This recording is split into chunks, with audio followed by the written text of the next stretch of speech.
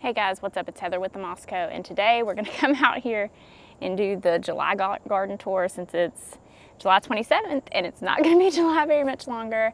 We went on vacation this month and um, this is usually the month of the year where I slack on the fertilizer and then we go on vacation and then we get back and I'm tired and videos slow down. I also have two new garden friends to introduce you to. The first one we've got here is Ray, master of cuteness. Um, we had dogs before and they were old and they died, um, to be quite blunt. And it has been some time and it is now time to fill our garden again with puppies, destructive puppies. Um, but they're cute as they can be and I have so enjoyed coming out here with her in the morning. And then yesterday we got another one. Hold on, I'll show you. Yesterday we got Minoru, she's a black lab. Um, we've not had a lab before. She's buggy, um, but she is very sweet and they are learning to play together, um, learning a new routine, so we didn't get a whole lot of sleep last night, but super cute, so you'll see them running around and keeping me company out here. Um, but let's actually do a garden tour and take a look around before the gimbal dies. So on this end, again, we've slacked on the fertilizer. We were getting a ton of rain, thank goodness, so things just didn't die out, but there's our super Supertunia Bordeaux blackberry bush. We harvested the garlic out of this together. There's my Mother's Day pot. It's just so serene and pretty. I really love the contrast of these two plants right here. So the sedum and the um, it's getting very much eaten. It is full blown, it is full blown Japanese beetle time. These are all teddy bear sunflowers. They are also getting eaten a little bit. Um, but we planted those after we removed the garlic. We also planted another succession of zinnia seeds so that when ours succumb to black or to powdery mildew, we will have something there. I did plant some basil here, but it died. Um, and my cucumbers, I'll show you in a little bit, they are doing okay, but they're not producing as many cucumbers as I would like and I wanted a succession plant. So I went ahead and put a couple seeds yesterday right here. We do have time left. Um, I think people miss out sometimes on opportunities to do that. We do have time left to do that, so we're gonna give that a try. This is Wyatt's Supertunia uh, Vista White, and it could stand to be cut back. Uh, again, when I got back from vacation, I definitely have slacked on the fertilizing. I have at least gotten about half the weeds under control again, so that's good. This is Blue My Mind evolvulus. Love this plant. Love it. I should have used it more this year. Um, last year I had it in a container and it kind of fizzled out. But this year we've gotten a lot more rain. That's not even hooked up on drip, um, and she's doing beautiful. So it's full sun down here, doing great. This is a couple blueberries that I need to put out in the landscape. We're leaving this bed empty for garlic. I've got a eggplant here that is on its deathbed plenty of time. If you need time, I'm the person to call. This is another eggplant. There's a ray.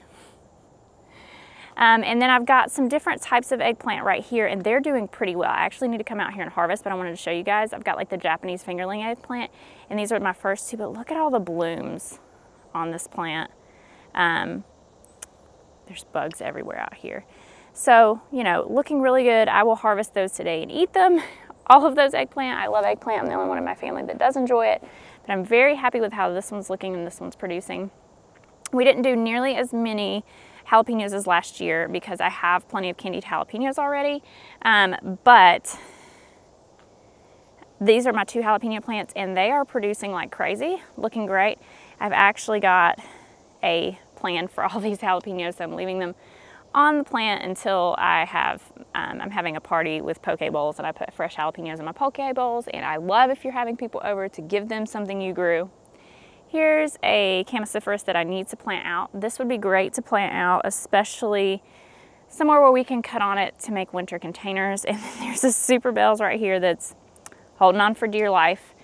That pot there and this bed here are sitting empty because they were full of different types of squash and they got hit by uh, vine borer, so they are gone. I have replanted out my squash. I have replanted them out in the, the production garden in the back. The bugs out here are intense. um, so that it just won't go away. Now my lens is all foggy. Good job, Heather. So that we can get more squash. There will be plenty of time for them to produce again. It's early in the year, and I think I'm actually gonna treat them with BT injected into the stem. So we don't have that problem again because I do love squash. Let's go over here to the new bed, we call it, I guess. Here's our Amazel basil, by the way. This is the basil plant you need. It's perfect. Love it. So this is the new bed. And I'm loving a few things about it. I just came through here and hit it very quickly for some weeds. Again, when we got back from vacation, I had to blowtorch the weeds. This is kind of what it looks like after you blowtorch if they're really large. Um, I need to come back in here and fertilize. You're supposed to do that yesterday and I didn't. It doesn't look like it right now because it rained yesterday and such, but these have done so well this year. They are a sea of beautiful bright color, especially when the sun is shining on them. They're fluorescent almost, and it's great.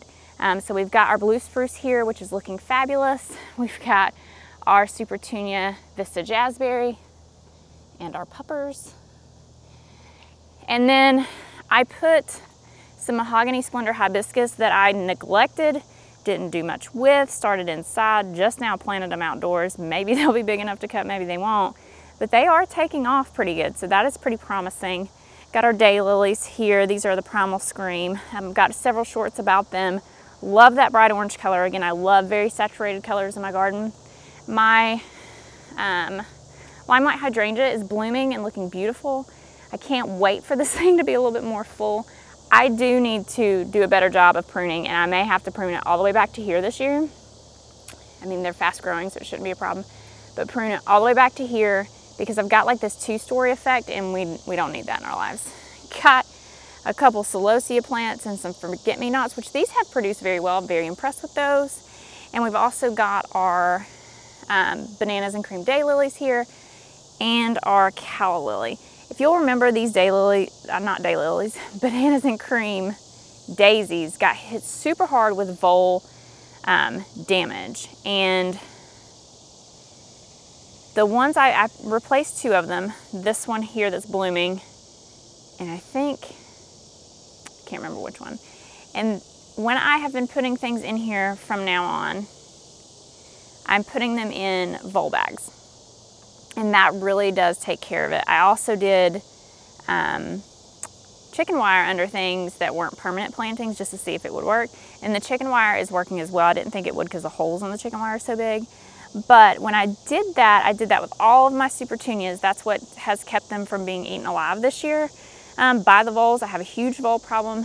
When I had dogs before, I didn't have as big of a vole problem. Gimbal just died. Okay, so back to this bed over here. This is now gonna be shaky. I'm super sorry. Um, also, we were supposed to get two dogs and we've got one more on the way. Um, apparently, like you shouldn't leave me to my own devices, picking out seeds, probably shouldn't do that picking out puppies. She's the extra. Ray, this is the extra. Could you say no to that face? I don't think so. I don't think so. I didn't, obviously. And the voles came and systemically ate them all. So the two things, the two-prong approach that's really working is A, you gotta bury them in the, the things that help. And again, this is not their best representation. I mean, look how large these plants are from just one little four inch can, but they need to be fertilized. Um, and I'm overdue on the fertilizing. I find that I have to fertilize like every four days is the key. Um, but also these things. These things that you stick in the ground and then they vibrate because the bags were keeping the voles from eating the actual roots. You hear that? But they were coming along and the foliage that was on the top, they were still eating that because this was so infiltrated. The minute we put these in, I started to notice bowl trails in the grass. Again, we don't have real grass. We have weeds that we just cut to be the right size. So I don't really mind if they tunnel in that actually. And I've thought many times about like getting better grass, but I guess it really doesn't bother me that much as long as it's all green and full. So anyhow, this is that bed. And only the ones we planted this year are blooming. The ones from last year are not. But again, you know, perennials, they take a couple years to take off. All of the seeds that we planted for um, poppies are done. Didn't do very well. The canna lilies here, Jason loves canna lilies. I do need to come deadhead these. Um, I don't really like the way their foliage looks, but that's neither here nor there. His hibiscus, these are the two plants that he likes the most. This hibiscus is a summerific something something, and it puts on quite a show. Again, bug pressure is bad right now, but these blooms are gorgeous, gorgeous, and they put on quite a show. And this is a nice big plant. This is kind of the area you see most from the windows of our house. We do need to fill in with some more stuff. I do want to fill in this area with more foliage-based stuff so that I'm not dependent upon seasonal blooms to make this area look good. More evergreen things, some loropetalum, get some yellow, red, and blue going in these beds. I do want to fill these beds in with more foliage-based plants, things that don't depend upon blooms to look good. Um, and I want to make sure we're incorporating yellow, blue, and red because there's not enough of that over here, but more foliage interest down here. Some evergreen interest, some small evergreen pieces, um, like an Anna's Magic Ball Arborvitae for the yellow, or one of the Glow Blue Bruce spruces on blue spruces on this side, um, and some loropetalum something for red, yellow, and blue to have that interest. This is supposed to be a pathway, but the kids kept moving my rocks. I need to move that cal, calla, canna lily, canna lily, calla lily, calla lily. need to move this calla lily over there with other calla lilies. Then a path here, a wide path though, so that the kids can walk through here with their vehicles. And then I'm going to line either side with some lamb's ear Ray is just a digging. Ray. Ray. What are you doing? Ray, come here. Ray. Come here, girl. Come here. Come on. You can't dig. No digging. Look at you. Look at you. You're a mess. Come on. Come on. Come on. You can't dig right there. It's a drip tube, man.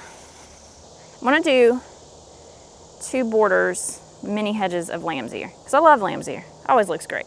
And it's blue, need some blue down here. Then we need to actually cut back those weeds, take out those hydrangeas and put them over there in that line of hydrangeas, which is also not looking the way that I want it to, but maybe they just need some time, you know, give it some time. And then I bought four little lime hydrangeas to get that five foot hedge going. And then I need to figure out what to do on this side of the hedge. Look at them. Is it a garden tour or a puppy stis? Might be a puppy stis. Look how cute. We have these two pots here to like be the edge of the walkway. I just need to come out here and work on this. I just need to work on it. Let's let's digress. On this side though, I want it to be all hosta. From here all the way over to probably over there. This is our Japanese maple. I'm gonna give her a C plus, okay? She just, she's making it. She's got new growth, but not what she looked like when I bought her. Probably some neglect issue. One of my favorite hostas though is these giant green ones. I love these. They're super bright. They light up the shade so well. And that autumn frost hosta right there so next spring probably, maybe this fall, but probably next spring, I'm gonna dig several of these up, divide them heavily, spread them out more. I've got more hostas, um, and I just want it to be hosta, hosta, hosta, hosta, hosta, until you get to these, you know, hydrangeas in the back that, like again, look a little spindly. They did get hit with a late winter frost, and I think it took their blooms, but they're reblooming, so that shouldn't have been an issue. Um, and a lot of these, it's their second year. That one's a third year, but these are all second year. So they need some time. Ever since I created this bed right here, I wanted to um, do some annuals in this like swoop that comes out. So I did that this year and it took forever for them to take off, but they're looking a lot better. So we've got my favorite red begonias that is a climbing hydrangea to go up this tree. There's also one on this side because eventually I would like to do a bed on this side as well, climbing hydrangea over here. Um, and then I love the contrast of the white caladiums with the red begonias. Got this new bed. I made a video on it. I need to go edit that and post it so you can see it going in, but here it is. So let's go take a look. So on, let's go to the front of the house.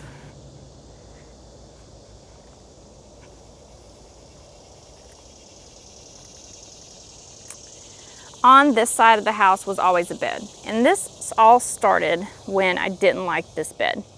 I started to move things around and I didn't like that. I started to replace things and then I took it out and didn't know what I wanted to do. And then we were gonna do something in the house. I didn't wanna put plants there. And now I've decided on a full hedge all the way around of Limetta hydrangeas. They get like three by three or four by four. Um, and they put up these chartreuse white that turn to chartreuse Limetta blooms, which contrasts really well with the orangish red of the house. That's why I really like blue things, vibrant things that contrast well. I also have my pots here with my Vista Jazzberry. Um, I recently cut those back because they did get neglected while I was on vacation. Gave them a shot of fertilizer. They need more fertilizer, but I also think some of my other Vista Jazzberries are getting eaten by either aphids or something else, um, maybe budworms, so I need to treat them and I've just been neglecting them. So for the amount of care that I've given them, they look pretty good. So this bed was already here. I wanted to mirror it on this side because I thought it looked silly that nothing was over here. The grass wasn't growing over there either. And I put in these pots, I would like to put a weeping blue spruce in these pots. Um, and I need to get some more mulch to finish this off. But now I'm really enjoying it. I love that it's symmetrical. It feels very finished and really love this how this bed has turned out. And they are growing significantly. When I got these, they were super, super small and they are putting on blooms and I can't wait to see them fully bloomed out because they are super beautiful. On this side of the bed, I did completely reno this bed when we moved in except for these two peonies that have been here. I've got my two Cardinal roses. And if you're unfamiliar with Japanese beetles, this is what they look like. They eat roses especially bad. Dahlia is pretty bad too. Um, so there's some new growth on these roses. They do look the best they've ever looked. Um, and look at the cute puppy in the Rudbeckia. Ah, no. So then we've got Black-Eyed Susan Rudbeckia here. This was three that was like clustered on the edge and then something in the middle. And it was way too big over here. I didn't space appropriately, so I dug them out and divided them and placed them here. And then this is my swath of um, lamb's ear. This is one of my favorite things in my garden. It just consistently looks good. Um, and I do love it. I had cut it back earlier this year, tried to transplant some pieces to get it grow in. I eventually bought a lamb's ear, divided that, and then put it in here, and it's looking really, really good. Here is a Vista Jazzberry that's looking a little better. Again, I did just cut these. I do need to treat them, um, but they're looking a little better. Look at these blooms here. So pretty. Can't wait for these to get really large and form a hedge and fill in. And then we do need to plant up these containers. There will be some space in front of the containers and around them that we could have the opportunity to do something. Uh, we'll see what we do with that. We may leave it blank though because the, the rest for the eye is really good. So let's go to the back to the production garden. So here we are, this is the production garden. We have had some wins and some failures here like everybody does every year. The tomatoes are better than they've ever been. The cucumbers, I think, are getting a little bit too much shade on their vertical trellis. The corn was doing phenomenal and then it did get hit by a windstorm. Baby, she's right there. You looking for Ray? You looking for your sister?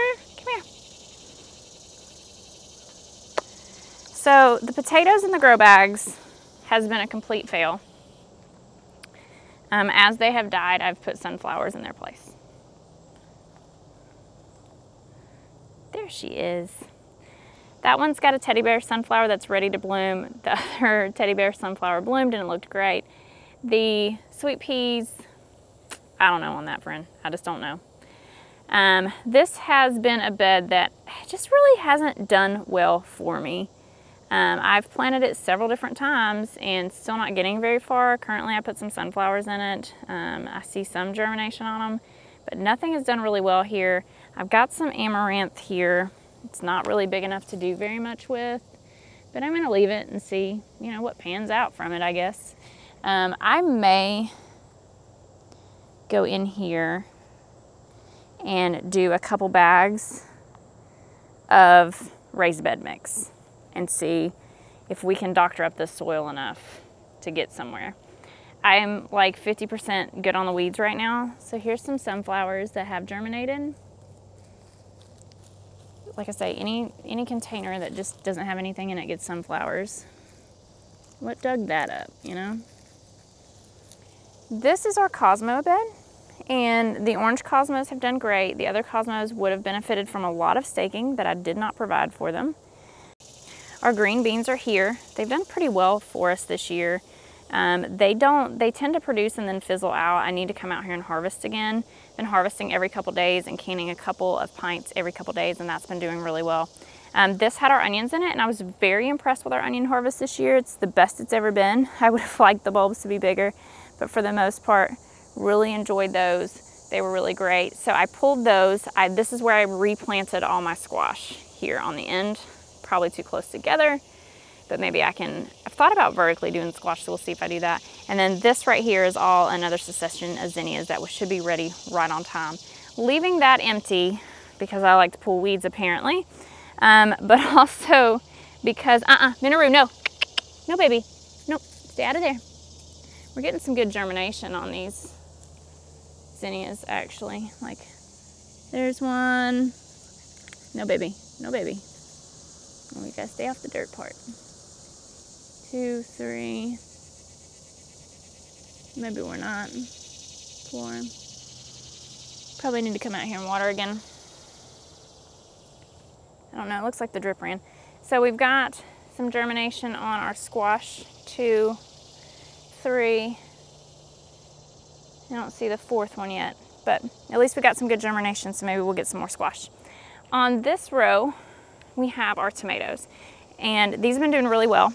Um, down here I have planted more green beans and it looks like some of them have come up and some of them I need to try to germinate again. That one clearly got eaten by something.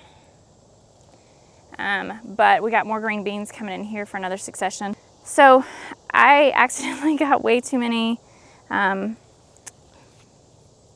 cherry tomatoes, but they're looking really pretty.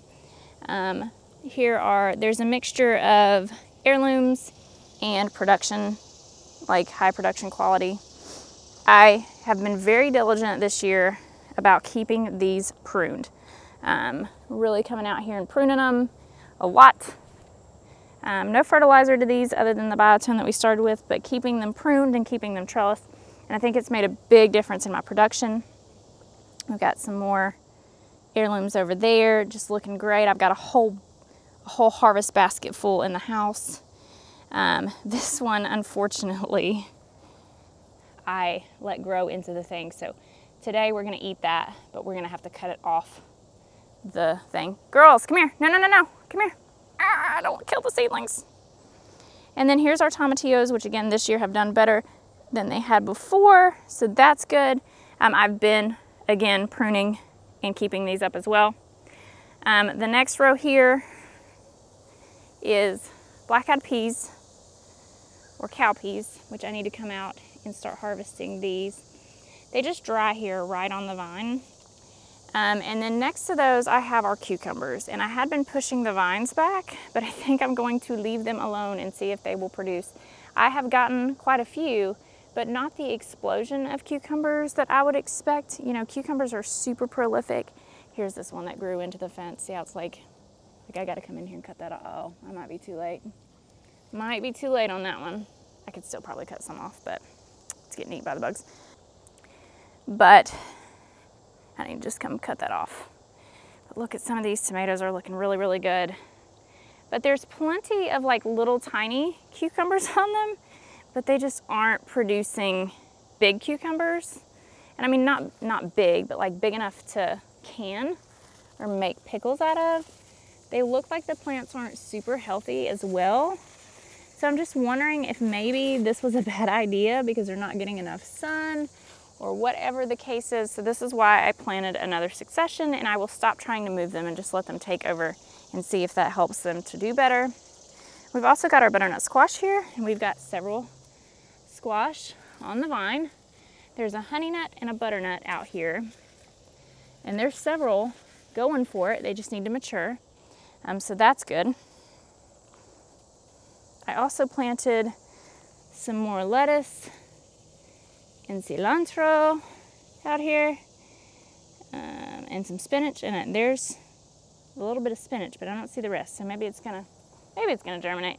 We'll have we'll have hopes for it. We got time to plant it again if it doesn't so that's this row again same thing over here this is my okra and then my weeds um, I have been neglecting the heck out of this side I need to come cut some of that okra that we've got in there. Minaroo.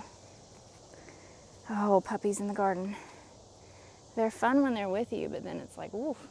So yeah, we've got, you know, like usually you'd have a ton of cucumbers and I just have, you know, this guy. There's plenty of like the little baby cucumbers on there. They're just not maturing into big cucumbers that we can use. So we're gonna leave them alone for a bit and see if they do any better and they may just need to catch up. This is the travesty. My corn was all up. You see all these strings and it fell in the last storm as it was ripening. So hopefully, like that one's toast. They are something. All right, and then the next row is the production flowers, and that has done fairly well for me. So when I got home from vacation, I had a whole ton of zinnias. I put a short up about that. Um, and then I've got some again. I've been harvesting very regularly. These are mostly Benary's Giants. I've also got some Queen Lime, Peach Queen Lime, Red Queen Lime, whatever in here. Um, but I've still got a lot of buds. They don't look like they're succumbing to anything anytime soon. This is my primary source. Let me give you a shot this way. This is gonna be really chopped up. Look at that, how big that one is. I need to cut, cut that one back quite a bit so it doesn't just fizzle out on us. Um, Minaroo, no. Girls. And then I've got all of my filler basil, which I've had a hard time getting this to hold in a vase. Um, but here it is. I think if maybe I let it get big enough that it would bloom before I cut it, that I might have a lot more success. But this is the only filler I have left. This vine is taking over. This is where our snapdragons are, were, and our bachelor's buttons. I just need to pull all this. And this is also where my weeding came to a stop as you can very well tell. Um, and then we've got all of our dahlias. Our dahlias are doing better here than they ever have. They are getting murdered by Japanese beetles. Here's some more lamb's ear to create that hedge I talked about. Um, here's a good example. It blooms and they just cover it. So I do have those baggies. If I catch it on time, I will cover them. Some of these aren't doing really well. Some of them are. It's kind of hit or miss. I've not really had a lot of success with dahlias, um, but I need to come cover some of these blooms. Like this is all deformed. I need to come cover this one. You know, I just want those gigantic dahlia flowers. You know, is that too much to ask? But, um, what are those dogs doing? So, overall, I'm very happy with it. I did not like the straw at first. I don't know if I like it now. I would prefer wood chips for sure. Ray, no. Ray, Ray. I would prefer wood chips. Um, the straw sprouts and becomes a weed. I need to come in here. That's what I'm gonna do after I get done with this video is weed some more with these dogs. It might be interesting, but um, yeah, pretty happy with it, especially the zinnias especially those first three rows. If we can get some more cucumbers, um, I'll be a happy camper. So last thing we're gonna go look at is the driveway pots. Um, I love this color combination right here. I love the dark colors against the bright silvery white. My Basset Hound pot feet are really cute. Um, I have been meticulously once every you know, month or two coming in and pinching out the center of my coleus. I mean, look how big this, this is one plant right here in that tiny little pot. And look what all it's doing. I do need to come in here. This black-eyed Susan vine, I am so incredibly happy that I spent the money to get the color that I wanted. I need, do need to give the red begonias an opportunity and make sure that things aren't pushing on them too much. But I love these red begonias. They are gorgeous. They bloom profusely. They sun or shade. They don't need a lot of fertilizer. This is not on drip. If the rain doesn't hit it, maybe once I've had, maybe twice I've had to come out and hand water this, but it is amazing. That green with the red and the red coleus and the black sweet potato vine is beautiful. There are a couple of Diamond Frost Euphorbia. They're in there, but they have totally been taken over. And I'm really kind of okay with that. I think a bright pop of white would be nice, but I'm okay with that.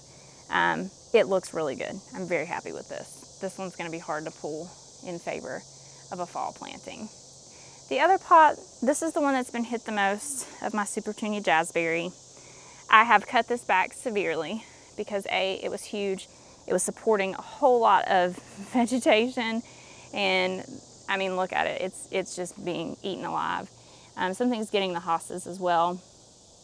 This hosta bed needs to be groomed something terrible bad, but um, yeah, I mean, there's definitely signs of aphid infestation, but it seems like more than that because those, those plants have been eaten pretty severely. So I need to put some Rose RX on them. Um, I will probably come do that tonight. They definitely need more fertilizer. This doesn't get 100% full sun. It's like the borderline of full sun and part shade. Um, and I love how it grew out. It looked really beautiful for a time, but now it's struggling. So we're gonna try to see if we can get it back. Again, we did um, give her a nice haircut. We need to treat her and give her more fertilizer, lots and lots of fertilizer, and hopefully that'll help. Um, this is the hosta bed. It's the last thing we'll look at today. It needs to be groomed. These hostas get too much sun, but it's mature and it's beautiful most of the time, so I'm having a hard time knowing what to do with it. It's on a hillside, so if I removed it and replaced it, it would be kind of a pain. I could dig up every one of these hostas, divide them, and fill out that bed over there really nicely. But in the spring, this is gorgeous. I just need to come out and groom it, but they do get completely bleached out. But kind of their bleached out color is a nice contrast to the darkness of the house. Again, I like bright things because it's shady here. Um, but, you know, I don't know. I'll probably leave it. Need to come groom it though for sure. What you think, Minoru? What you think, girly girl? She's pretty. You ready to go take a nap? You ready to go take you a nap? Well, that is going to be it for me in this garden tour. I need to go edit it and get it out. Um, hopefully, you can see some things doing super well. Really happy with them. Some things need some help. It's July. Things are starting to become overrun with bugs, overrun with heat. Luckily, we've had a lot of rain. But anyhow, that's going to be it for me in this video. Thank you guys so much for watching, and we will see you in the next one. Bye.